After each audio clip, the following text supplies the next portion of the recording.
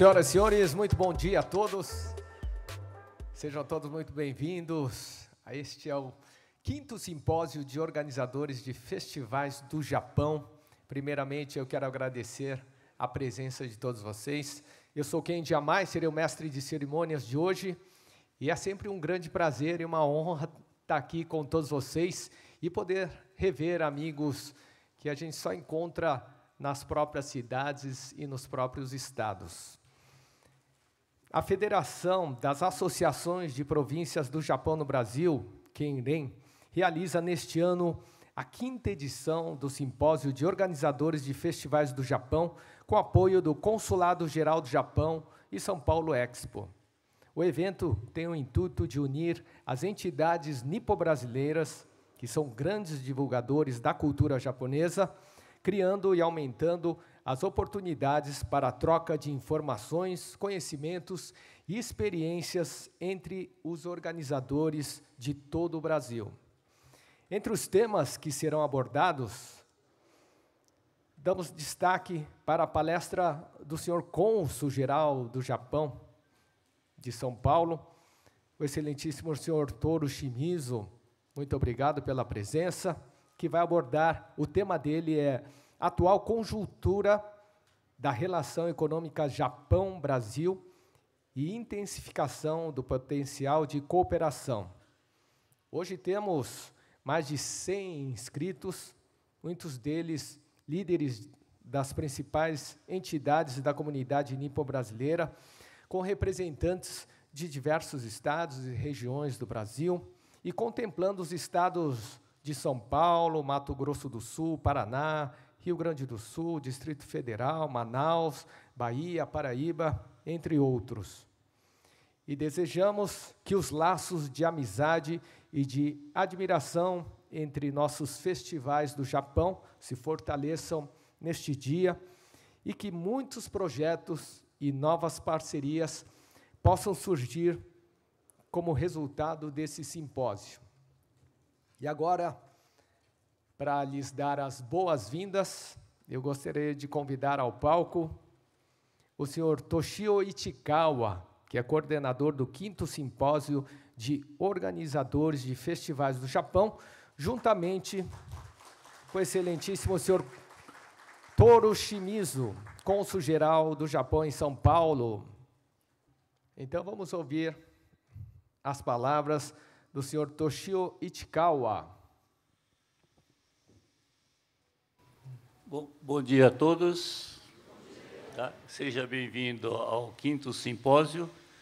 E, em primeiro lugar, eu quero agradecer ao embaixador Teiji Hayashi. Inclusive, eh, nós, este ano, eh, não providenciamos o link direto via internet, então ele vai apresentar com a gravação. E como essa gravação também vai estar disponível, então, eu quero agradecer pessoalmente ao cônsul-geral, né, seu Chimizo, e ao embaixador, né, que ele vai apresentar as suas palavras iniciais. Então, a, a todos, né, eu quero que tenha um, um belo dia tá, e, e, não se acanhe em fazer as perguntas, né, que é uma maneira de a gente enriquecer o nosso intercâmbio entre as entidades e nosso objetivo é exatamente é para a gente fazer esse intercâmbio né, de uma forma mais intensa e tem, nós tentamos colocar na programação algumas, eh, algumas entidades que fazem seu festival né, de cultura japonesa de uma forma até inusitada, porque a comunidade não tem muitos japoneses, no entanto, tem uma força muito grande. Tá? Então, é, é, essa é a nossa intenção de criar um ambiente né, de novidade, de criação, e o festival só pode ser realizado com recursos. Né? Então, nós temos uma palestra aqui do João, da, da Anisa, Bahia, né? e eu espero que ele possa transmitir o seu conhecimento, a sua força, tá? de tal forma que possa ajudar outras entidades a realizarem o seu festival. Tá? Da minha parte, é muito obrigado, e seu cônsul, muito obrigado pela palestra, pela disposição em transmitir. Então, aqui estão praticamente os organizadores de festivais do, uh, festivais e, e, e, a gente fala de festivais do Japão, né? muitas vezes são semanas japonesas, tem outros nomes, tá? No entanto, é, é, são eventos importantes da cultura japonesa. Tá? Então, a todos, muito obrigado. Muito obrigado. É, conforme o senhor Ichikawa falou, nem todos têm esse nome, Festival do Japão, mas tem nomes como Festival da Cultura Japonesa, Bon Odori, espalhados pelo Brasil, Toro Nagashi e outros nomes que utilizam, mas sempre estão divulgando a cultura japonesa. Antes de convidar o cônsul para suas palavras, eu gostaria de exibir aqui no telão a mensagem do excelentíssimo senhor Teiji Hayashi, embaixador do Japão no Brasil. Bom dia a todos. Estou muito feliz pela realização do quinto simpósio de organizadores de Festival do Japão promovido pela Kenlen. Eu gostaria de agradecer ao presidente Taniguchi e a todas as pessoas envolvidas na preparação desse encontro.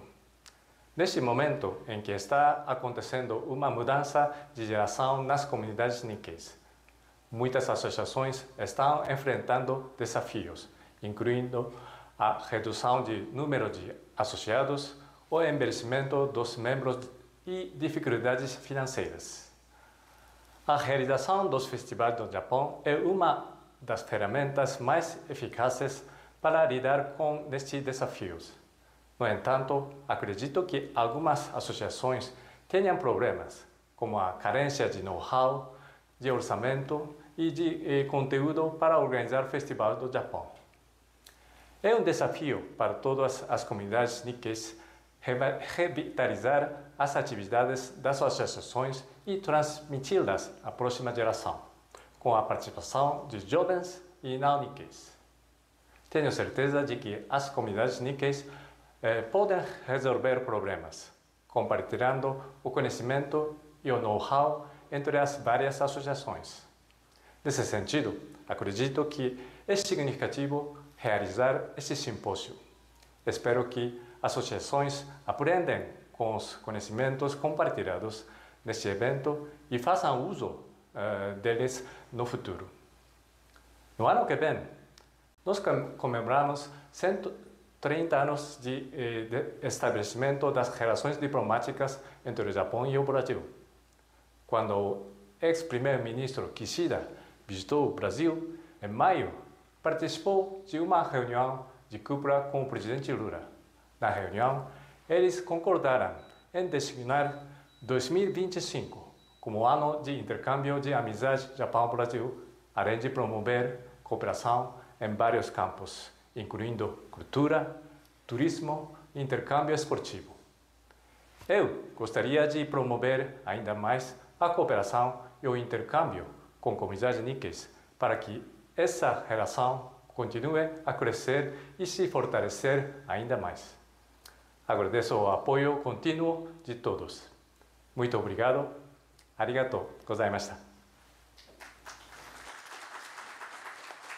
muito obrigado. As palavras do excelentíssimo senhor Teiji Hayashi, embaixador do Japão no Brasil. E agora gostaria de passar a palavra ao excelentíssimo senhor Toru Shimizu, cônsul-geral do Japão em São Paulo. Por favor. Uh, muito obrigado. Bom dia. Ohayou gozaimasu. Yoroshiku onegai shimasu. Eh, eh, grande alegria, imensa alegria eh, estar aqui junto com aqui todos presentes e já vejo uh, muitas caras já familiares e alguns não, porque alguns uh, vindo de uh, outras partes eh, do Brasil, viajando a larga distância, né? Então, eh, gostaria de expressar meu profundo agradecimento por suas participações deste importante evento que celebramos uh, por quinta vez, né? Eh, com eh, motivo de eh, falar e trocar uh, opiniões de como incrementar o dinamismo de festivais do Japão em todo o Brasil. E é interessante, bem japonês, porque uh, meu tempo é eh, a partir de 9.13 até 9.35. São 22 exatamente minutos. Bastante japonês, bastante preciso. Né?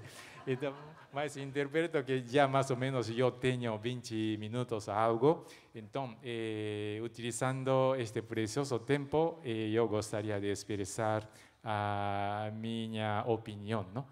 Eh, eu cheguei a São Paulo como consul geral eh, no passado mês de novembro, novembro passado. E antes eu trabalhava na Brasília há 20 anos, ou seja, a partir de 2004 até 2007. E eh, então eu mais ou menos ah, tinha uma ah, um conceito ah, do Brasil morando lá em Brasília, mas a minha sensação que, que tenho agora através de minha morada em, Brasil, em São Paulo é bem diferente, né? porque a cidade mesma é bem diferente. Mas graças a muita gente aqui de São Paulo e também através de mim, várias vezes de viagem ao interior de São Paulo, já mais ou menos eu tenho uma uma ideia, uma percepção do dinamismo ou atividades que estão fazendo, né? então, eu, baseando-me nesse conceito, nessa sensação, né? eu gostaria de expressar bastante francamente né? minha sensação. E, primeiro, eu tenho uma visão, previsão muito optimista, muito, bastante optimista, porque cada lugar agora estão cultivando sua própria energia, abrangendo a gente local, e incluindo não somente a sociedade Nikkei, sino a sociedade não Nikkei de local. Eh, por exemplo, ah, no caso de Moji das Cruzes, eu ten, eh, tive a, a oportunidade, felizmente, ah, de participar da abertura do Festival do Outono ah, de Moji das Cruzes. E lá ah, eh, ah, saltou a meus olhos ah, uma presença enorme eh, da gente local de non-Nikkei. E falando com a gente organizador, disse que é uma intenção. Então, abranger e incluir a atenção, o da, da sociedade local inteira é uma chave de manter uma sustentabilidade deste tipo de eh, atividades. E mostrando eh, verduras recém eh, eh, safladas, por exemplo, vegetais e cogumelos, cogumelos de Monte das Cruzes, bem conhecido, e é uma chave, acredito. Então, eh, eh, a abrir a porta e também eh, levando em conta um, os interesses uh, fora da sociedade japonesa é uma, uh, uma chave muito importante, né, acredito. E já estão fazendo eh, nesta linha né, eh, atividades, eh, festivais de Japão em vários lugares. Isso, eu, acredito que este, este caso de Moji das Cruzes é um exemplo. E outro exemplo é, por exemplo, eh, Guatapara.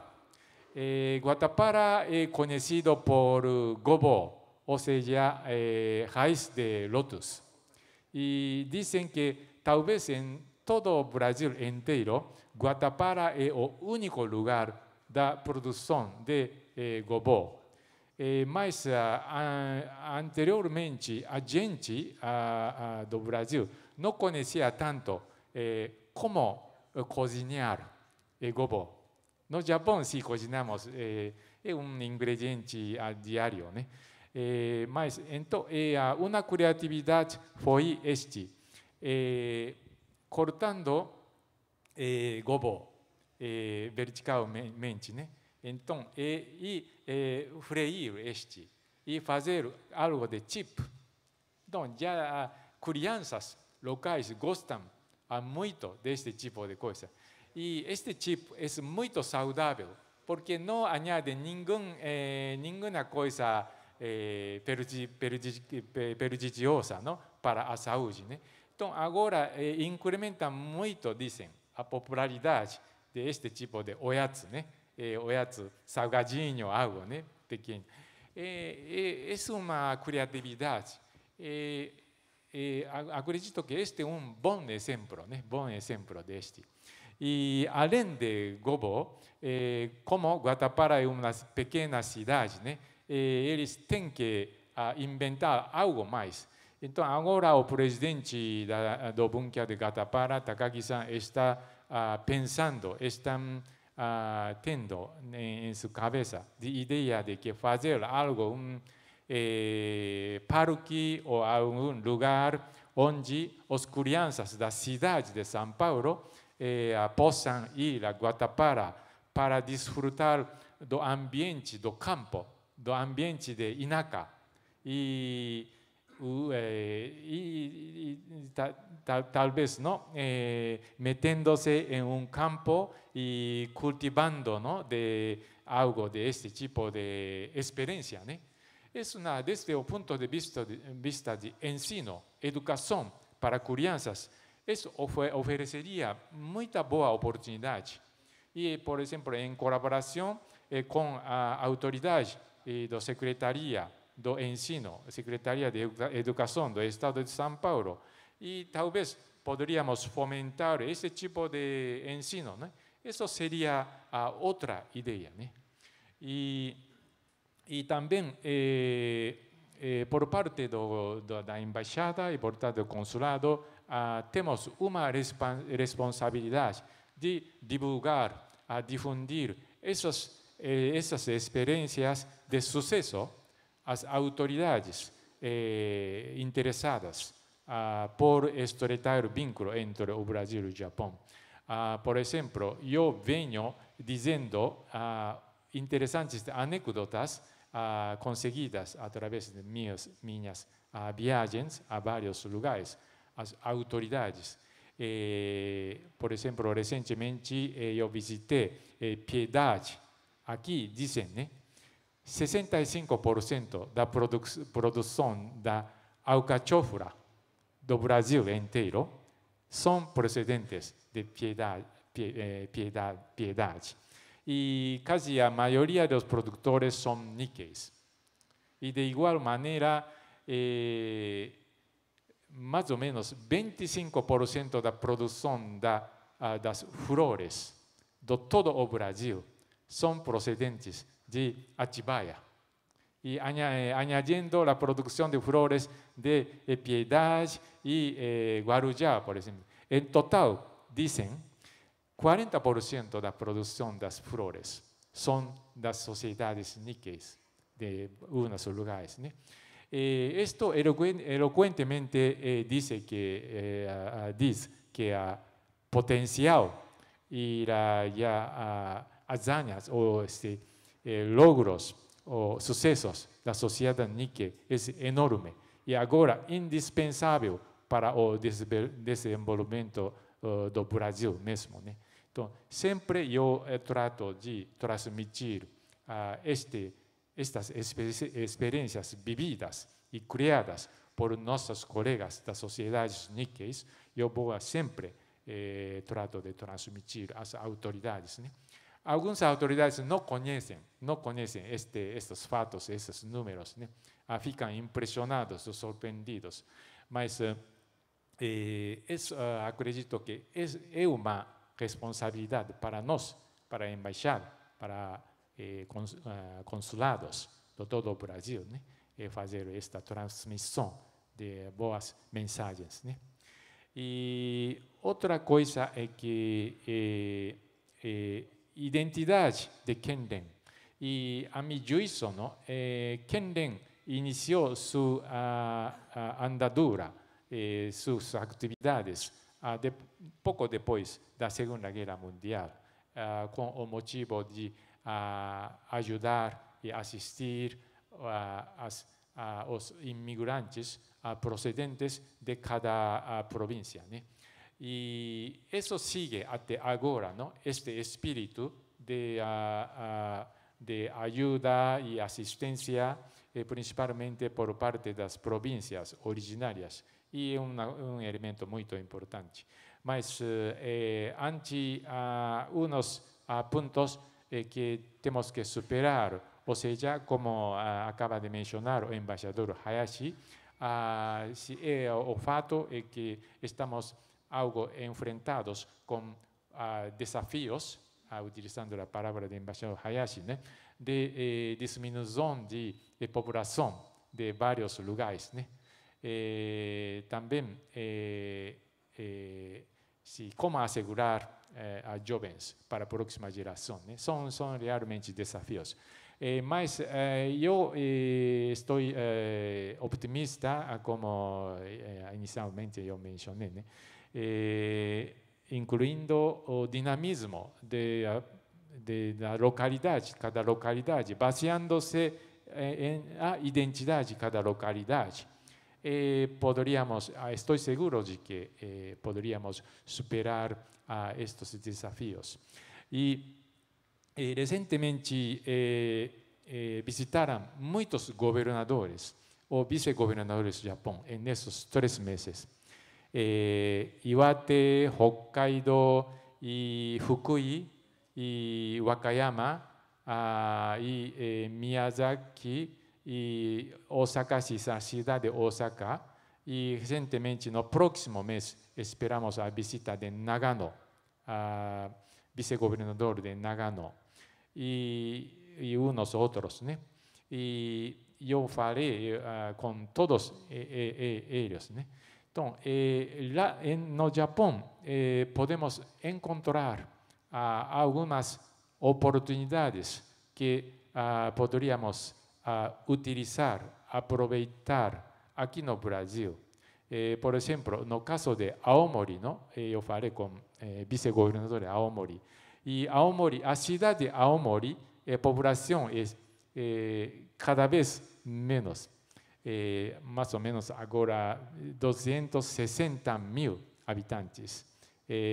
muito menos que a população de Suzano. Acredito que Suzano 300 mil, algo assim. Né? Eh, mas em Naomori existem ah, vários lugares onde produzem ah, muitos bons produtos locais, eh, alimentícios e também ah, em lugares a beleza de, eh, desde um ponto de vista de turismo e eh, passar a turismo rural, algo. Né? E também tem muitos leyendas, muitas uh, contas eh, antiguas, baseadas em cada localidade. Né? Então, eu falei com o vice-governador de Aomori, eh, vamos a eh, traduzir uh, umas páginas de este conteúdo ao, eh, ao eh, português, né? E traduzir todas as informações de página web de cada província seria um desafio grande. Né? Mas talvez podemos selecionar, escolher algumas informações que sejam interessantes para o, o povo bra brasileiro inteiro. Né? Então, eh, pondo eh, essas informações em, em algumas páginas de, páginas de web de Kenren, ou talvez em eh, nosso consulado poderíamos ajudar ¿no? para enlazar essa informação entre a província e aqui no Brasil. Né? Eh, podemos fazer este tipo de esforços. Não? Então, eh, acredito que talvez alguns jovens, alguns não níqueis, que, tem, que tenham um nível eh, excelente da língua japonesa, alguns já não níqueis, já têm um nível de N1, de Nihongo Kente Shiken. ¿eh? Entonces, eh, solicitando una ayuda o solicitando una uh, voluntad de eles eh, para que eles eh, possam eh, fazer uma tradução de umas páginas. Não? Isso incrementaria enormemente. E em relação com eh, Furusato Matsuri, né? Furusato Imono Matsuri do ano passado, né? Eh, antes de vender ou fazer promoção de eh, Nihonshu, eh, sake de cada província, né? talvez eh, transmitir essas mensagens de cada adega, cada saque, cada localidade de, de cada província, né? de antemão, né? eh, emitindo essas informações, seria eh, uma contribuição para incrementar né? eh, número de visitantes e número de interessados. Né? Em totalidade, eh, aumentaria eh, para nós. Né? Então, este tipo de coisa ah, existe muito. Ah, ou seja, ah, eh, muito que também no, no transcurso de, de falas e eh, palestras, e desejo que eh, essa dimensão de coisas também ah, sejam ah, os temas a que vão a, a falar. Né? Eh, bom, eh, de, como início uh, da fala, uh, sí, eh, es todo y uh, deseo muito o sucesso desta quinta celebração de, de, do, do, do simpósio e estou convencido eh, que eh, nós uh, possamos celebrar otimamente no ano que vem, não? Como dice el embajador, 130 aniversario da relación diplomática. Entonces vamos a añadir uh, algo nuevo ¿no? eh, para eh, incrementar o de, dinamismo. ¿no?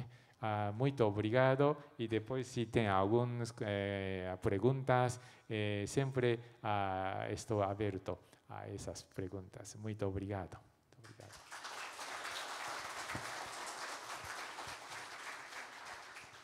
Arigatou gozaimashita. Muito obrigado.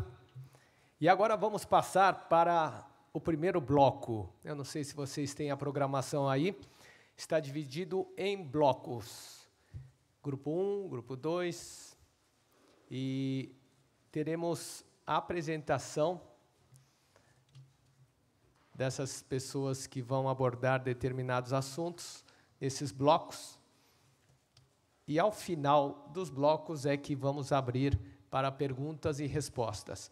Aí, quem quiser fazer pergunta, levanta a mão. Tem uma equipe que vai estar de prontidão aqui, vai levar um papel. Vocês vão escrever a pergunta e entregar para essas pessoas. Geralmente são as pessoas que estão de amarelo, né? Aí vocês escrevem e vamos responder só algumas pelo tempo, e as demais vocês vão ter tempo de fazer a pergunta diretamente ao palestrante, porque vamos ter o coffee break, vamos ter o almoço também, então fiquem bem à vontade. Bom, agora vamos então convidar aqui ao palco as pessoas que vão fazer parte desse primeiro bloco. O senhor Kohei Kawazuma, representante da JAICA. Dozo, uma salva de palmas a senhora Alice Lemos, doutora em estatística. Também, por favor, suba ao palco. E também o senhor Carlos Takahashi. Está aí? Grande mestre. E aí, aí sim, eles já subir, estão subindo aqui ao palco, vão ficar sentados e vão fazer suas apresentações e ao final de todos é que vamos abrir para perguntas e respostas, ok? Já tem alguns microfones aí, mas caso falte, ó, o Carlos já está acostumado, já pegou dois para ele. A nossa primeira palestra vai ser em vídeo. E o tema é Memorando de Cooperação Expectativas da Comunidade Nikkei. E esse vídeo, essa palestra, né, é da senhora Reiko Kawamura, representante sênior da JAICA. Vamos assistir aqui no telão. Bom dia a todos. Meu nome é Reiko Kawamura. Sou representante sênior da JAICA no Brasil. Eu gostaria de cumprimentar todas as autoridades de Kenren, Kenjinkai e todos os participantes. Hoje eu gostaria de apresentar eh, o memorandum assinado entre a JICA e três entidades Nikkeis, Bunkyo, Enkyo e Kenden. Eh, gostaria de compartilhar eh, minha apresentação.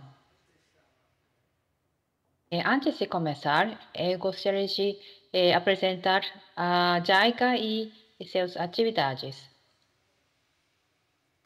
A UNIA tem mais de 150 países no mundo. Através da visão do mundo com laços de confiança, temos como objetivo o desenvolvimento da segurança humana e o crescimento de qualidade, colaborando para a solução dos desafios socioeconômicos dos países em desenvolvimento. Ao longo dos anos, desempenhamos diversas iniciativas de cooperação no Brasil. A cooperação técnica é um projeto que visa a realização de orientações técnicas através de envio de peritos japoneses experiência e conhecimentos especializados, além de doações de equipamentos e treinamento no Japão. Também apoiamos as instituições do Brasil e do Japão nas pesquisas técnico-científicas, realizadas em conjunto entre os dois países. Na cooperação financeira, oferecemos empréstimos com juros baixos e pagamento a longo prazo aos governos dos países em desenvolvimento. Na área de desenvolvimento humano, enviamos desde 1961 mais de 12 mil bolsistas brasileiros para cursos de capacitação em diversas áreas do Japão. Diante da importância da atuação do setor privado no desenvolvimento, realizamos financiamentos voltados aos projetos de desenvolvimento deste setor, como empréstimos e investimentos de capital. Já na parceria público-privada, oferecemos assistência à expansão no exterior das empresas japonesas, que contribuem com tecnologias para a solução dos desafios de desenvolvimento. Apoiamos os projetos comunitários dos governos locais, universidades e ONGs do Brasil e do Japão. Na modalidade de cooperação triangular, divulgamos em outros países os recursos e o know-how que o Brasil adquiriu através da cooperação nipo-brasileira. Em 2019, iniciamos o programa de estudo Cátedra Fudica, Minomia na USP, Universidade de São Paulo, para compartilhamento da experiência do desenvolvimento japonês. E em 2022, estabelecemos a segunda cátedra na UERJ, Universidade do Estado do Rio de Janeiro. Como apoio para a comunidade Nikkei, temos programas de intercâmbio e treinamento no Japão para descendentes japoneses e envio de voluntários japoneses às entidades Nikkei do Brasil, com o objetivo de promover assistência junto à comunidade Nikkei brasileira no Japão, enviamos bolsistas para programa de promoção de interação multicultural. A JICA vem provendo ao Brasil as assistências emergenciais em situações de desastres naturais, tais como o combate aos incêndios florestais na Amazônia e enfrentamento de danos causados pelas ações. Acreditamos no poder da mudança e trazemos conosco um forte compromisso com o futuro. Através da colaboração de diversos parceiros, a JICA promove a cooperação para o desenvolvimento sustentável, não deixando ninguém para trás. JICA Bom, como, como é explicado no vídeo, a JICA temos muitas eh, modalidades diferentes. Eh, dentro das modalidades, eh, tem uma modalidade que se chama Apoio para as Comunidades Nikkeis. E dentro disso, a JICA, é Bunkyo, Enkyo e Kenden no dia de 29 de fevereiro, assinamos um memorando de cooperação que se chama Unidos pelo Futuro. De que se trata esse MOU? Tem o objetivo como fortalecer o vínculo de parceira estratégica entre JICA, Bunkyo, Enkyo e Kenden. Em primeiro, promoção de novos programas de intercâmbio entre a comunidade Nikkei e o Japão. Segundo, é promoção de atratividades do Japão no Brasil. E terceiro, de modo que possam se animar e encorajar mutuamente e ambas economias e sociedades sejam energizadas. Eu vou explicar eh, mais em detalhes. Em novos programas de intercâmbio, a JICA oferece muitos programas de intercâmbio Primeiro, a foto à esquerda eh, mostra que uh, recentemente a JICA eh, enviamos uma delegação de eh, 10 empre empresários Nikkeis ao Japão, inclusive Tóquio e Fukushima. E a foto à direita mostra que quando a JICA convidamos um grupo de empresários japoneses é, durante o Festival do Japão, em São Paulo. É como assim, temos muitos programas de intercâmbio, ah, não somente para adultos, mas alunos e universitários, e etc, etc. Em seguida, para a promoção de atratividades do Japão no Brasil, por exemplo, a JICA temos programas de subsídios para as entidades Nikkei. É, as fotos é, mostram que, por exemplo, na esquerda, a entidade Nikkei em Paracatu, é, a, eles compraram ar-condicionados Daikin para seus Kaikan. E a, para outras entidades, metade, por exemplo, a entidade Nikkei em Paracatu recentemente comprou as geradeiras de japone da máquina japoneses para o evento, o jantar oriental. E a foto à direita mostra eh, organização de evento de Hokkaido Kenjikai, que também, ah, para este evento, a JICA eh, tem apoiado através de subsídio. Bom, eh, intercâmbios pessoais e ensino de, da língua japonesa. Eh, a JICA tem atualmente 60 eh, voluntários japoneses no Brasil. E a maioria são professores de língua japonesa. E a JICA, através do subsídio, apoiamos também eh, os hospitais Nikkeis e setor de saúde. Eh, durante a pandemia, eh, os hospitais Nikkeis equipamentos para ajudar esses hospitais Nikkeis. A JICA também apoia promoção de aprendizado mútuo e formação de redes como a inclusão das mulheres níqueis. Eh, no mês de setembro deste ano, eh, por exemplo, o grupo das mulheres que chama REN eh, Mulheres em Brasília organizou um evento para comemorar o segundo aniversário do grupo. E a JICA apoia este aniversário, por exemplo. E apoia, apoiamos muitas outras eh, entidades e redes eh, networking. Promoção de cooperação entre os museus da imigração japonesa. Como vocês sabem, em São Paulo tem um museu uh, da imigração japonesa.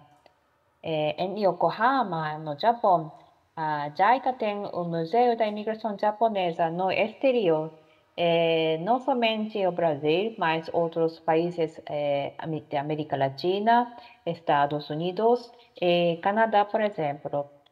E a, é, no ano passado, a diretora do Museu da Imigração Japonesa de JICA Yokohama uh, visitou, visitou é, São Paulo uh, para assistir a abertura de exposição especial que se chama Arigato Café.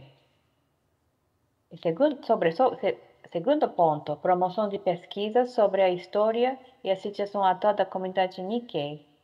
A foto da direita mostra um voluntário da JICA está pesquisando eh, a história dos imigra imigrantes japoneses, sua história e eh, a situação. E recentemente, uh, o Bunkyo organizou um evento eh, durante a Kaikai Nikkei Taikai eh, no Japão, em Tóquio, um evento para, eh, eh para convidar os jovens eh, brasileiros que moram no Japão, que não conhecem eh, as entidades Nikkei como Bunkyo. Para organizar este evento, a JICA eh, oferece uma sala de reunião na sede da JICA e, e, eu ouvi que este evento foi um grande sucesso. O memorando tem outros pontos como custo, por meio dos respectivos orçamentos, mas possibilitar o acesso, acesso e obtenção de fundos externos, inclusive eh, aqueles da JICA. E quatro entidades eh, nós temos monitorado. Eh, por exemplo, organizamos encontros de trabalho anual para avaliação de resultados e planejamento de ações futuras. E esse eh, memorandum eh, tem três anos validades.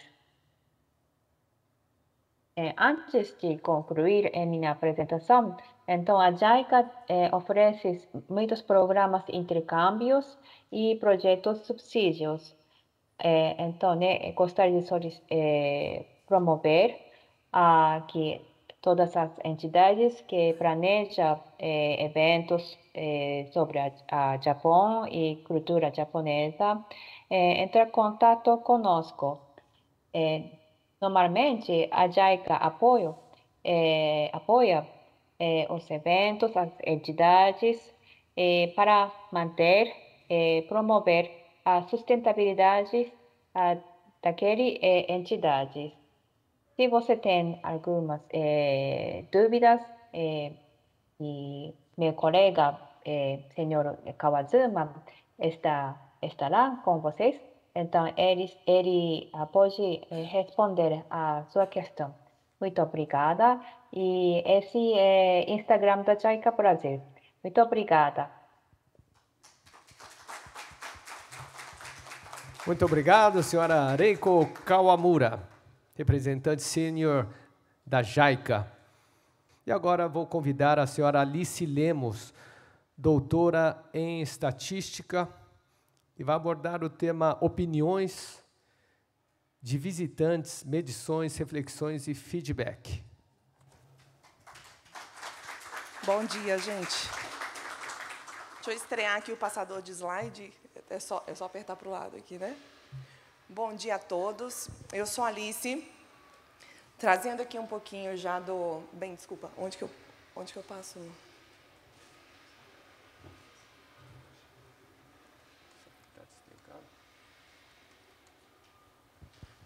Vou falando para a gente não perder o tempo, né? Porque é cronometradinho. É, eu tenho um carinho enorme pelo Festival do Japão.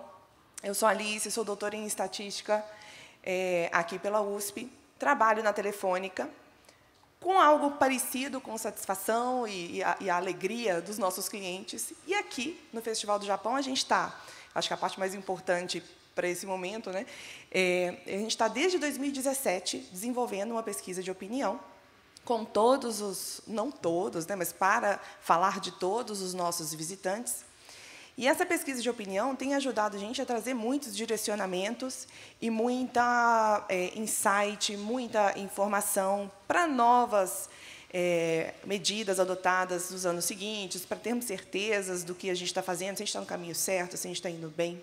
E a gente usa muito dessas pesquisas que a gente faz como direcionador estratégico para a gente entender o que a gente tem de oportunidade de melhorar, o que a gente está fazendo certo, e também para fomentar informação para outros públicos que também são nossos é, também são nossos clientes, que são todos aqueles é, expositores, são outras pessoas que também participam ali do nosso evento, e eles precisam ter informações se aquele público que está ali presente no evento é compatível com o público de clientes que eles têm. Né? Então, usando isso como os norteadores estratégicos, a gente também tem que lembrar que cada evento é diferente. Então, a gente tem um determinado evento que ele está ali um pouco linkado com a parte da agricultura da cidade. A gente sabe que muitos desses eventos estão linkados com esse conceito de cada cidade. Aqui no Festival do Japão, a gente está mais linkado com o conceito de unificação, no Festival do Japão aqui do São Paulo, com essa unificação das províncias. Então, cada um tem uma nuance de diferença, mas todos a gente tem uma coisa muito parecida. Primeiro, a gente está fazendo um evento para os visitantes, a gente quer que eles estejam felizes. a gente quer que eles voltem nas edições seguintes. Né? Em geral, os eventos não são únicos. Eles são uma cadeia de eventos anual, às vezes até menos que anual. A gente precisa que eles voltem. Mais que voltar, a gente precisa que eles falem bem do nosso evento para outras pessoas. A gente precisa que eles nos recomendem. E também, para manter o evento existindo, tem que ter a, o momento do consumo. Então, a gente quer que eles estejam felizes, que eles voltem, que eles recomendem e que eles consumam. E como que a gente pode usar a pesquisa para ajudar a gente a direcionar nesses norteadores? Então, esses são alguns norteadores que eu estou chamando aqui para esse momento do nosso visitante. E a gente faz várias perguntas. A gente tem um aqui no Festival do Japão, então, desde 2017, de São Paulo. A gente tem uma pesquisa de opinião que a gente faz com perguntas que englobam todos esses conceitos, e desde estrutura até organização, até as atividades que são feitas, se o entretenimento está satisfazendo, o que, que eles mais é, gostam no nosso evento. E eu vou trazer alguma dessas coisas aqui para vocês. O primeiro ponto aqui é uma pergunta se o visitante já esteve conosco em edições anteriores. E pode pensar assim, por que essa pergunta é tão importante? Isso aqui dá uma noção de saúde do nosso evento. Se eu tenho, ano após ano, apenas visitantes que já nos conhecem, então eu, é sempre o mesmo visitante. Ótimo, eu quero que as pessoas voltem sempre. Mas isso vai fazer com que o nosso evento vá caindo de volume de visitantes. Então, isso não é bom. Eu quero que tenha ali uma boa combinação, um bom balanceamento naqueles que vieram alguma vez com aqueles que estão vindo pela primeira vez conhecer nosso evento. Então, a gente precisa dessa renovação. A gente precisa que eles voltem e a gente precisa de renovação de visitantes. Então, isso aqui traz, todo ano a gente pergunta isso para, os nossos visitantes. Isso traz para a gente uma noção muito boa do quanto está saudável o nosso evento, é sempre muito saudável. Está sempre girando em torno aí desses 25%, que são os novos visitantes, são as pessoas que estão nos conhecendo pela primeira vez, e os 75% ali que está é, tá sempre conosco. Né? Ah, uma outra pergunta que a gente faz, que é muito importante, é entender quais são as atividades que a gente oferece que são as que trazem mais interesse do nosso público. E nós temos aqui, também, ano após ano, todo esse resultado aqui é de 2024, tá? E está tudo aqui em percentual. Não coloquei percentual aqui para a gente economizar um pouquinho de, de imagem. Mas a gente tem a gastronomia, ano após ano, como um dos pontos principais do nosso evento, do Festival do Japão de São Paulo. Não significa que seria assim para todos os festivais. Tá? Isso significa que o pessoal vem aqui realmente para comer. Né? Ele vem para nos visitar, para provar de todos os pratos e tudo que a gente sabe que é incrível que a gente tem aqui todos os anos em termos de gastronomia. Mas não só para isso. Então, a gente tem uma boa parte dos visitantes que eles vêm para visitar os expositores. Então, quase 70% que está vindo aqui para, sim, ver toda aquela sessão de expositores, as pessoas que estão vendendo, é, em geral, itens relacionados a, ao, ao Japão.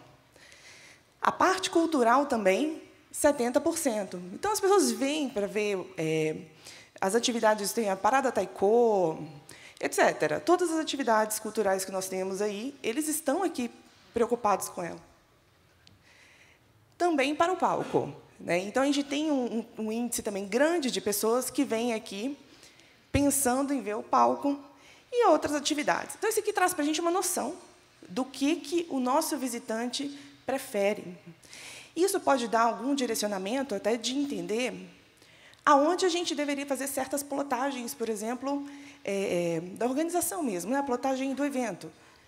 Aqui é uma coisa que já acontece, isso já acontecia antes da pesquisa, mas a gente acaba validando isso aqui com a pesquisa, que é, se a gastronomia é o ponto principal de vinda do visitante aqui, a gente não pode colocar a gastronomia logo na entrada do evento.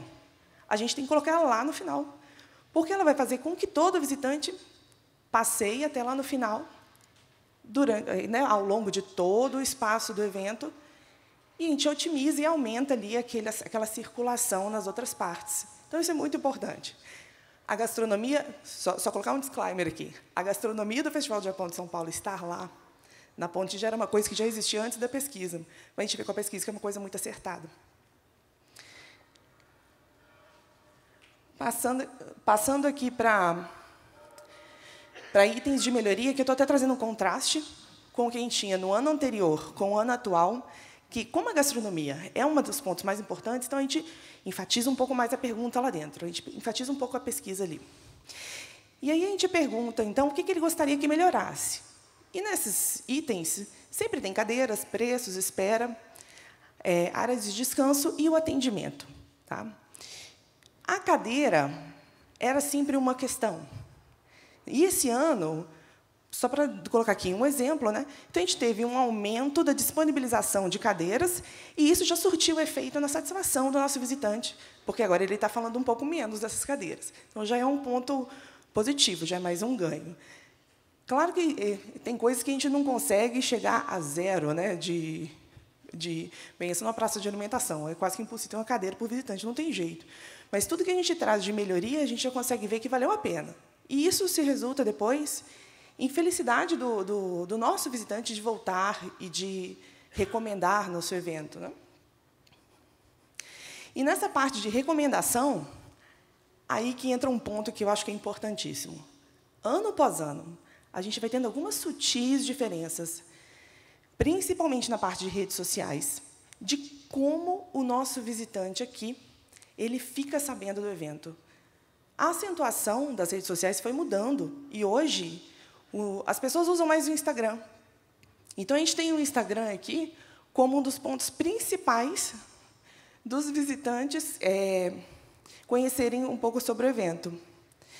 Mas, só para puxar aqui que os amigos e familiares, que é o boca a boca, é importantíssimo. Então, o visitante tem que sair muito feliz do nosso evento, porque ele vai falar para alguém que gostou ou que não gostou. E a gente quer que ele fale que gostou, porque o boca a boca é muito importante. Então, só para é, trazer aqui é, alguns pontos finais. Vou pular um pouquinho aqui a, a apresentação para ir direto para a parte dos expositores. A gente tem que fomentar também a informação para eles e falar qual é o nosso perfil, qual é a taxa da, da, da, da comunidade Nikkei, homens, mulheres, idade, profissão, tudo isso a gente repassa para eles. Então, isso está dentro de um perfil. Mas tem uma pergunta importante que a gente traz, que é o que mais chama a atenção dos nossos visitantes aqui, quando eles vão aos expositores. E a gente vê que diversidades, novidades, amostras, brinde, para você ver que a opinião pessoal, às vezes, é muito viesada. Porque, na minha cabeça, brinde era 100%. Mas não é. É ali 44%.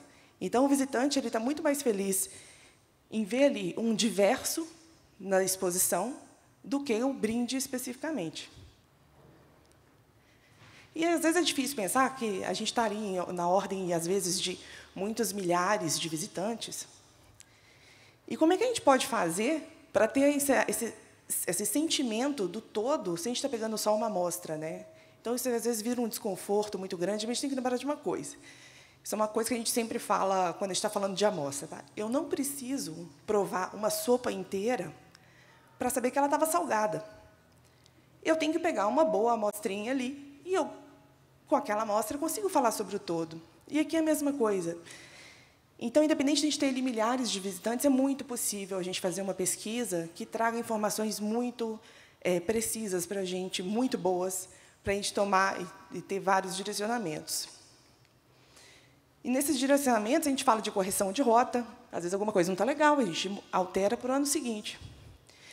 Posicionamento e argumentação para patrocinadores, né? para a gente poder reforçar para eles o que está, é, qual, qual, é o interesse do nosso visitante, para mostrar para eles que a gente está alinhado com o que eles precisam. Isso ajuda a gente a conseguir mais esses expositores. E um último ponto, aqui, só para finalizar, é mensurar também o quanto a gente está no caminho certo. Esse aqui é um resultado do Festival do Japão aqui de 2024, que é um NPS, que é uma medida que ela está hoje em todos os serviços que a gente consome. E o nosso NPS é altíssimo, que é 73. E esse NPS me diz o quanto está é, tá sendo muito bem recomendado o, o nosso evento. Né? E a gente está no caminho certo aqui, no nosso evento. Espero que a gente consiga mensurar e fazer o caminho certo em todos os, os eventos pelo Brasil inteiro. Obrigada.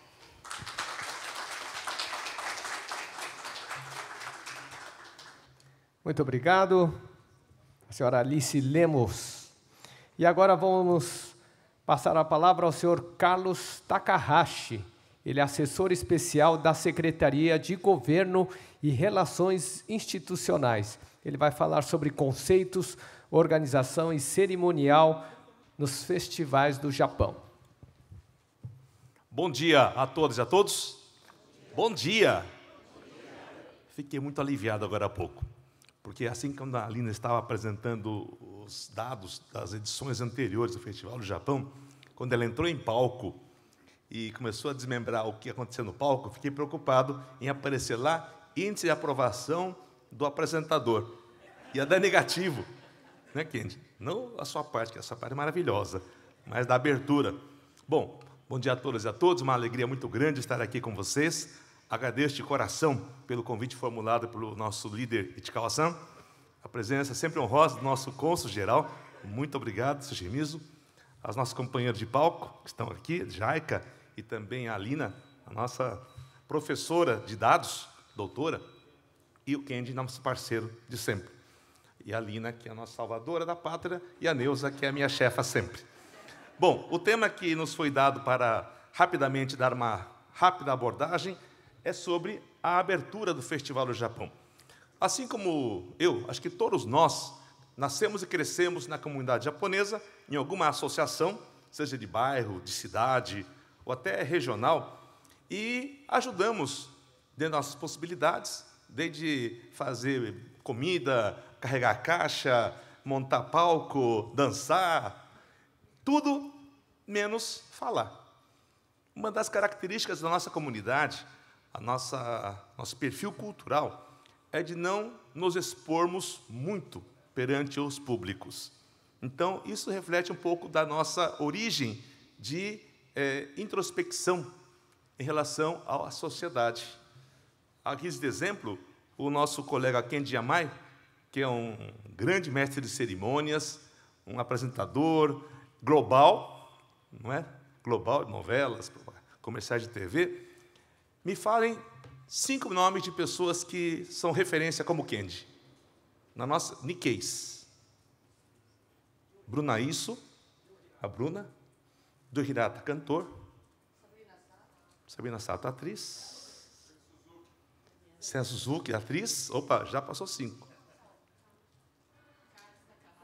Esse é zero fora. Então, olha só, tivemos que buscar lá na memória referências de pessoas que se expõem ao público, ou através da interpretação, ou através da voz, para uh, comporem cenários, para comporem eventos. Então, não é fácil.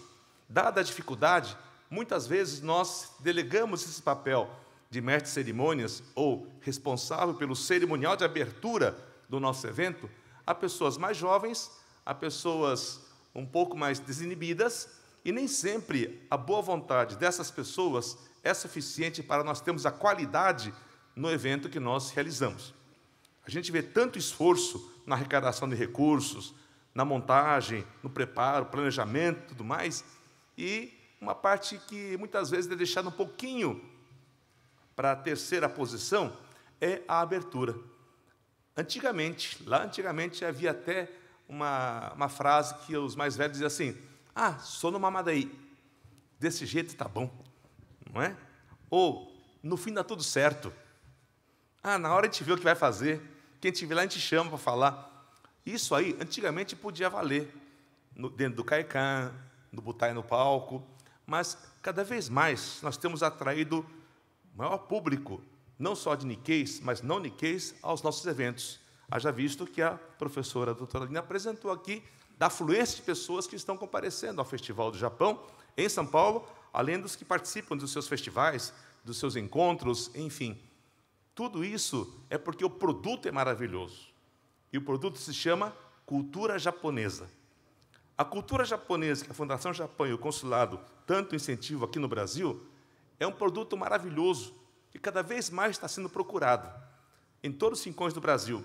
Para isso, nós temos que dar mais qualidade, não só na gastronomia, não só ao receptivo, não só às atrações culturais, mas também na parte de relações institucionais.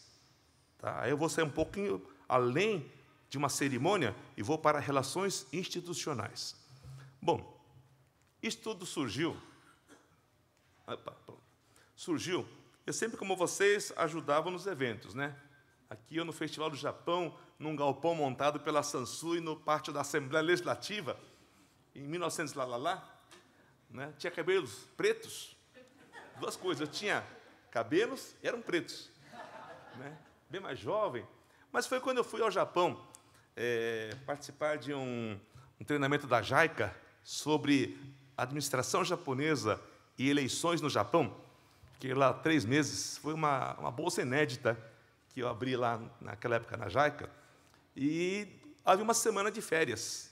E havia um cônsul aqui no, no São Paulo, cônsul adjunto Ikeda, que ligou lá para o Japão e falou assim: Olha, tem um bolsista pesquisador, o Takahashi aí, que tem uma semana de folga, não deixa ele de folga, não. Tem um programa de zeladoria do Palácio Imperial. E põe ele lá dentro. E eu fui lá. E daqui do Brasil foi uma comitiva com essas pessoas, estão todos, todos é, Nikkeis, que estão aqui. O Dancho, chefe da caravana, era o general Akirobar. Nós tínhamos aqui donos de restaurantes japoneses, empresários, artistas, aposentados, jogadores de shogi. Essa foi a comitiva, e como eu já estava no Japão, eu fiquei responsável por ser o babá da comitiva. Buscar no hotel, levar no metrô, levar tal, tal, tal, tal. E durante aquela experiência de uma semana, nos dois palácios, tanto no Palácio Imperial como no Palácio do Príncipe, tivemos uma experiência fantástica na convivência com outras pessoas que lá estavam como voluntários. E eu voltei ao Brasil com uma coisa na cabeça: quero trabalhar com cerimonial. Que eu vi aquele ritual todo, aquela toda aquela aquele preparo. E aí quando voltei ao Brasil, apresentei meu relatório na Assembleia para o presidente da Assembleia na época. O presidente falou assim: Takahashi, você é um funcionário, já era funcionário da Assembleia, concursado, muito protocolar. Então, vou aproveitar hoje que você está aqui, vou demitir o chefe do cerimonial, você assume agora. Falei, sim, senhor. Fui na sala de cerimônia e falei, pessoal, eu fui agora indicado para ser o, o, colega de vocês aqui na chefia do cerimonial. Nunca tinha lido nada de cerimonial. Eu só colaborava com os eventos. Por exemplo, quando teve o casal imperial no Brasil, e houve uma cerimônia no ginásio de Ibirapuera, o mestre de cerimônias indicado pela comissão foi o meu amigo saudoso, Décio Ranil. E o Décio Ranil era meu amigo já da Seichonoye, e falou assim, Carlos, você não quer me ajudar? Você que estuda essas coisas assim? Eu falei, não estudo nada. Não, mas você vai pesquisar então.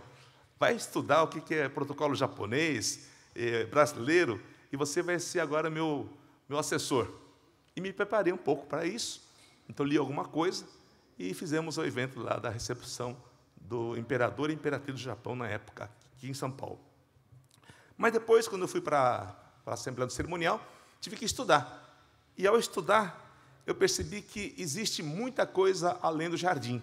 Ou seja, que há normas, leis, decretos que versam sobre o cerimonial. Ah, mas isso aí é uma coisa da área pública, nada tem a ver com a área privada. Vou mostrar que tem tudo a ver. Tá? Então, gente, essa experiência marcou a minha carreira profissional, que é de direito, e durante a minha vida, onde eu exerci vários cargos aqui, em vários setores, na comunidade japonesa, no setor público, fui vereador em São Paulo uma época também, eu dediquei muito tempo da minha carreira à atividade cerimonial, seja na Prefeitura de São Paulo, na Assembleia Legislativa, governo de Estado, e de repente, não sei por que cargas d'água, talvez porque em terra de cego, quem tem um olho é rei, me colocaram como é, coordenador de cerimonial no Estado de São Paulo. O Dori me contratou várias vezes para dar curso para o pessoal dele de cerimonial do governador, tribunais, tudo mais. E aí comecei a gostar do assunto. Só que eu aprendi na minha vida que quando você conhece uma coisa ou sabe alguma coisa, se você guarda só para si, a represa, a água represada apodrece. Tem que fazer circular. Foi que eu comecei a dar os cursos de cerimonial por aí. Porque eu tinha uma visão privilegiada por ter sido vereador em São Paulo, trabalhar com autoridades, por ser assessor de várias autoridades no Estado, na Prefeitura e na, na, em Brasília, no Ministério da Ciência e Tecnologia e também das Comunicações e Cidades, e como cerimonialista empurrado que fui. Como autoridade, eu conheci os quatro S's das autoridades. Você que é de Mato Grosso do Sul, se receber lá o senador Nelsinho Trade no seu evento, Lembre disso aqui, 4S. Nelson Trade, ele chega no evento lá do Sobá, ele quer ser, ele quer surgir na hora certa, ele quer sorrir para todo mundo, quer dar uma palavrinha e quer ir embora logo. Esses são os quatro S. Não importa a localidade, toda autoridade, governador, prefeito, deputado, senador, lá, lá, chega no evento e tem quatro S. Menos cônsul geral. Cônsul geral é tranquilo. Né? Ele vai, Yukuri, né? Então, mas os não descendentes têm essa agenda concorrida, e quando vão no evento da comunidade, um evento de comunidade, não só da nossa, mas de comunidade, eles têm essa passagem rápida. Então tem que ser valorizada. Então eles chegam com esses quatro S, eles querem é, serem reconhecidos, querem dar, dar, uma palavrinha, querem estar sempre bem, sorrindo todo mundo, todo mundo sorrindo para eles. Tudo isso aí é, faz parte da ansiedade ou da expectativa da autoridade. Já como assessor, eu queria que meu chefe fosse reconhecido, valorizado, privilegiado, fotografado, aplaudido. Por isso que é mais difícil em eventos grandes, como o Festival do Japão, não é autoridade. Veio o governador Tarcísio, como veio ano passado, tranquilo. Pôs o rapi, falou que ele, quando era criança, gostava de assistir um personagem Electroman. Né? E eu falei, o senhor tem que falar Jaspion ou falar Ultraman. Ele busca Electroman, ninguém lembra. Bom, e aí é, é fácil. O problema são os assessores. Cada prefeito, cada autoridade traz aí uma gama de assessores, todo mundo é, e um bando de QSA. Sabe o que é QSA? QSA é uma abreviatura de que se acha. Como trabalha com, como está perto com, como convive com, acha que é também. Então quer entrar na sala VIP, quer comer coxinha, sushi, depois tem coquetel só para autoridades, quer entrar junto, quer fazer foto com o cônsul, fazer foto com o Iticalaçã. E é uma loucura, gente. Então, como assessor, eu tinha também essa necessidade de cuidar bem do meu chefe. Já como cerimonialista, responsável da, na, na, comissão por essa área, a minha função não era outra senão segurar a barra. O que é segurar a barra? Compatibilizar as ansiedades das autoridades, segurar um pouquinho a necessidade dos assessores e garantir a atenção do público para o evento, porque o foco do evento é o público. Tá certo? Então tem que ser essa visão global para a gente poder tornar a cerimônia de abertura algo palatável que não crie arestas. Bom, para isso eu tive que ler um pouquinho, tem vários livros escritos sobre a tese, tem vários especialistas todos que, nem Nikkei, infelizmente, não temos especialista em cerimonial. Tínhamos uma querida professora de etiqueta japonesa, do Arte Kenjinkai, Lumi Toyoda. Lembra-se dela?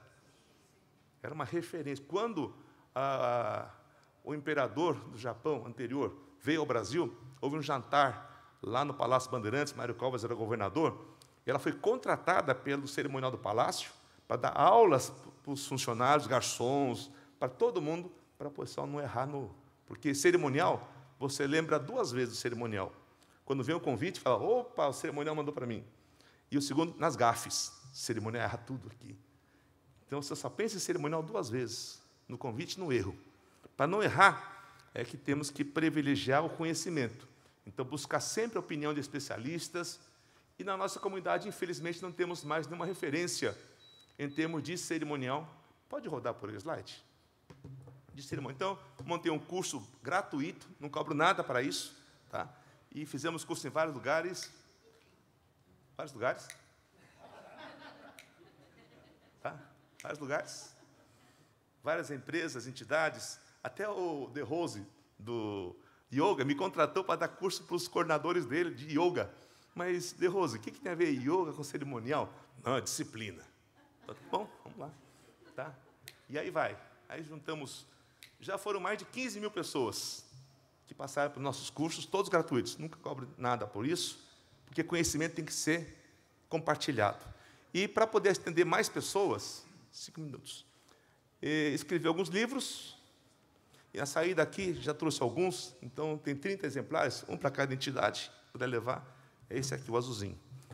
Norma do Cerimonial Público Brasileiro, comentado tá? por mim. Não sei se é grande referência. Vamos lá? Também tem meu site, em que coloco todos os livros que eu escrevi, os livros que eu segui, Tudo isso aqui está no meu site gratuitamente. Você pode baixar o livro, imprimir, vender, fique à vontade, tá? É até essa bandeira japonesa, nós colocamos as regras. Que é aquela dúvida. Ah, vai ter evento aqui, a comitiva da província tal. Bandeira do Brasil no meio. Ok. A direita vai do Kenjinkai ou vai do Japão? Vou vir aqui. Ah, mas tem duas bandeiras, que nem quando veio o primeiro-ministro é, Junichiro Koizumi, lá no Bunkyo, teve uma cerimônia, botaram as bandeiras erradas. Aí tinha um, um diretor, não, tá certinho, bandeira aqui, do Japão aqui, bandeira lá. Aí eu falei, olha, é, aqui é território brasileiro. Só é território, extensão territorial japonesa pela Convenção de Viena, a sede de consulado, a casa do cônsul e em São Paulo, né? Só esses dois locais. Bunkyo, em que pese viu o primeiro-ministro do Japão, é território brasileiro, sujeito às normas do cerimonial brasileiro. Isso implica em quê? Bandeiras, hinos, hino sempre é cortesia ao estrangeiro, depois o brasileiro. Compõe também assentar os assentos. Tudo isso aí tem que ser. A fala, por cortesia, você pode até abrir mão da precedência e oferecer a palavra inicial aos japoneses. Porque no Japão começa mais importante e vai descendo. No Brasil é contrário, do menos por mais. Então é o contrário. Bandeira também é contrário. A mão inglesa no Japão não é a direita, é a esquerda. Enquanto que a nossa, a lei fala que a do Brasil tem que ficar à direita. Então, essas coisas têm que ser conhecidas, e conhecimento é fundamental. Então, no site que nós temos todo esse material, redação, ele chamou muito certamente o Kendi, convidou o cônsul geral com excelentíssimo senhor. Perfeito. Tá? Agora, se fosse outra pessoa que não tivesse cargo público de relevância, seria ilustríssimo? Não se usa mais ilustríssimo, está em desuso. É senhor fulano, senhora fulana. Então, essas questões também estão no manual de redação. Então, quem precisar de informações sobre ah, cerimonial público, nós temos aqui. Vamos lá? Pimba. Isso aqui é o que me norteia no dia a dia. Pimba. E a abertura. Por que, que é importante? Ah, mas a abertura esvazia o, o, o público. Começou a falar, fala um, fala dois, fala cinco, já aquele público de 500 pessoas reduz a 100 pessoas. Não dá para a gente pular e não fazer a semana de abertura? Houve um ano em que as empresas que eu atendia, de expositores, de Francal, Coromodas, eh, Hospitalar tal, eram meus clientes, eles resolveram abolir a cerimônia de abertura. Ótimo, vocês querem abolir e reduzir custos, menos, menos tensão nesse problema? À vontade. Só que foi um fiasco não veio ninguém da área pública, não veio, a imprensa não compareceu, só veio setorizada. E aí eu vou buscar na minha memória um momento em que eu estava como chefe de cerimonial da Prefeitura de São Paulo, na inauguração do segundo prédio do Hospital Israelita Albert Einstein. Convidados, presidente Lula na época, governador Geraldo Alckmin na época e prefeito Kassab na época, fora outras autoridades, José Safra, que doou o dinheiro para fazer aquele hospital. Tal. Aí, o que era para ser de manhã o evento, o Lula ligou de Brasília, de, de Maceió, dizendo que estava atrasado e que ia demorar atrasar na chegada. Resultado: o que era para ser 10 horas da manhã virou 4 da tarde. E todo mundo esperando. Tal. E aí, teve um, teve um, o, que era ser, o, o que ia ser um, um coquetel final virou um branche no meio do caminho. Aí, na fala do Lula, assim que começamos, anunciou: Senhoras e senhores, com a palavra, Sua Excelência, presidente da República, Luiz Inácio Lula da Silva. Aí ele foi lá e houve uma vaia, bem leve, uh, por causa do atraso. Aí ele falou: Minhas amigas, meus amigos, muito bom dia. Eu estou aqui para dizer para vocês que peço desculpas pelo meu atraso, porque não foi para. Tinha lá um evento em Maceió, uma coletiva de imprensa. Aí o raio da minha assessoria me mandou o avião da, da, do, da, do, da presidência lá para Guarulhos, não tinha helicóptero para todo mundo, veio de carro, então demorou bastante, desculpem aí. Mais uma coisa eu quero deixar falado. Acabou. Se, se por acaso aqui esse evento importante para a saúde do Brasil está aqui, vai sair na Globo, no Jornal Nacional hoje, vai estar tá na capa do Estadão, vai estar tá na capa da Folha de São Paulo, vai estar tá em tudo quanto é lugar, não é só pela importância do hospital, que pelo hospital sairia no caderno de saúde da Folha no caderno de saúde do Estado, no, no SPTV, antes não nacional, mas vai sair em todos os lugares grandes, porque estou eu, está o Geraldo, o Alckmin e está o Kassab. Aí, pessoal, aquela cara de tacho, né? Por quê? Porque essas autoridades públicas, elas atraem a imprensa, que ajuda o evento. Então, aqueles que acham céticos falam, não, convidar político é, é fria. Realmente é difícil, aumenta a necessidade da gente poder é, é, demandar mais preparos, mas é fundamental para mostrar a grandiosidade do evento. Eu digo para as pessoas que se vai político no seu evento, dê graças a Deus, porque o seu evento é importante, é requisitado. Se não vai ninguém da área política, preocupação. Vai virar uma feirinha, vai virar um, um encontrozinho. Então, agradeça. E para finalizar, pleque, pleque, pleque, pleque. Aqui são reflexões que vocês vão encontrar no meu site, tá? Pleque. E finalmente esse aqui. Você tem dois tipos de eventos: o privado, que é realizado por empresas, entidades e ONGs, e o efeito oficial, que é realizado pelo poder público da União, estados e municípios. São distintos. Porém, se você vai realizar um evento privado, quem está pagando a conta é quem cai. O presidente, o, o escolhe o buffet, a mami ou coazuro. Ele pega o, o mestre cerimônias Kenjiamai, que é caro pra caramba, hein? Brincadeira. É, faz o que quiser. É, conta do Kenjinkai acabou.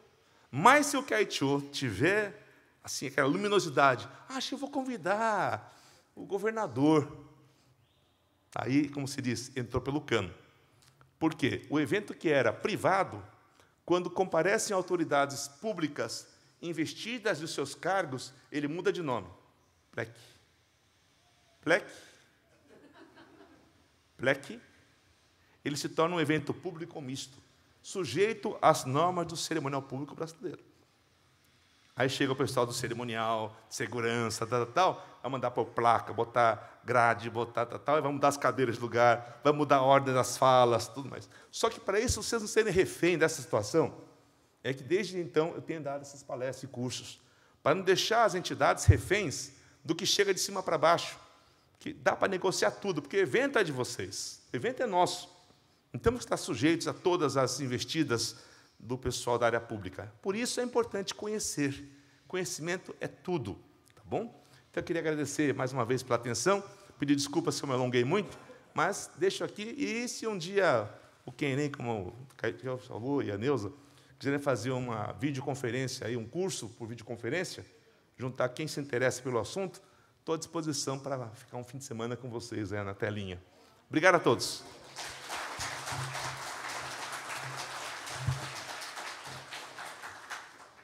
Muito obrigado.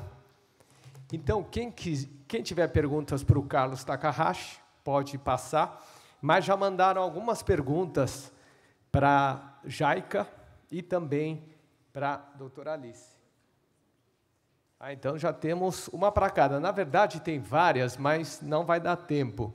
Então a gente selecionou só algumas. Então, primeiramente para a Jaica.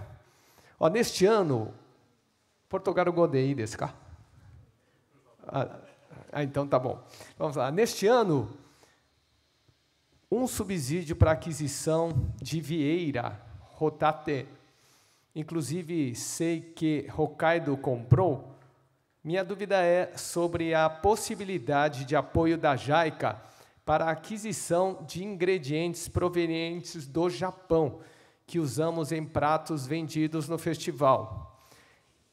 Meu Kenjinkai é Wakayama e usamos o no ah, ah, o nosso okonomiyaki usamos no nosso okonomiyaki ingredientes como katsuobushi, sakuraebi e aonori. Haverá alguma ajuda no ano que vem também para aquisição de ingredientes com preço mais atrativo? Caso positivo, poderiam compartilhar o contato da JAICA para entender como funciona e para poder compartilhar com os demais Kenjinkais? Foi a Yumi que fez a pergunta. Aí. É, ela perguntou justamente se a Jaica tem como ajudar né, para aquisição. Aí, caso tenha, aí o senhor explica que ela vai passar para os demais Kenjinkais, outros Kenjinkais. Dozo. Bom dia. Bom dia. Sim, sou Kawazuma da JICA, muito prazer. Sim, ah, sobre esquema de subsídio, sim, o objetivo é para promover cultura japonesa, ah, especialmente a produto do Japão. Nesse sentido, usando produto do Japão para o evento é muito agradável. Por exemplo, Vieira, né, para promoção de produto do Japão para o mundo é muito, sim, obrigado de cooperação, para por cooperação. E nesta pergunta para usar, usar importar, né, importar molho do Japão e para disseminar, divulgar o sabor para os brasileiros é muito bom. sim, e sim, pode sim, pode pedir sim, possibilidade para a JICA Sim, mas já ah, nós temos ah, requisitos para fazer sim, evento. Sim, por exemplo, a proponente do a proponente tem que cobrir 10% de orçamento em total, né? E JICA cobre 90%, sim. E também tem alguns requisitos e para detalhes pode pode perguntar, sim, depois, sim. E a, além disso, sim, ah, se, ah, já tem alguns Kenshinkai que têm experiência de ah, usar subsídio da JICA para fazer eventos, né? Ah, um, eventos deste, ah, mesmo ah, sim, Festival do Japão deste ano, alguns Kenshinkai eh, usou, usaram o ah, subsídio da JICA e aproveitando este simpósio, sim, gostaria de uh, promover a troca de conhecimento entre Kenjinkais sobre sim, uh, experiências. Obrigado. Muito obrigado. Senhor Correi Kawazuma, representante da JAICA. E agora vamos passar à próxima pergunta, é para a doutora Alice. Na pesquisa, uma pergunta sobre se pretende retornar no ano seguinte não seria cabível? Quem fez a pergunta é Shintani, do Hirota Supermercados. Oi, gente, novamente. Essa pergunta ela está hoje na nossa pesquisa. Né? Aqui eu trouxe uma amostra pequena do que a gente pergunta ao nosso visitante, mas isso também a gente questiona se ele tem interesse de retornar no próximo evento, na próxima edição. E aí a gente dá uma possibilidade para ele de três respostas, né? Ou sim, ou não, ou, ou talvez, né? Às vezes eu, ele está em bastante dúvida.